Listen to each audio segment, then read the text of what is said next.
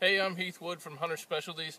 I'm here in southern Missouri. We did pretty good coyote hunting this morning, but I just wanted to kind of share with you what's been working here the last few weeks.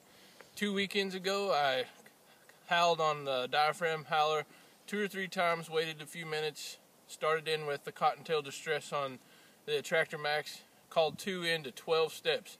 This morning, did the same thing. I took the triple dog pounder from Hunter Specialties, howled three or four times, like this right here.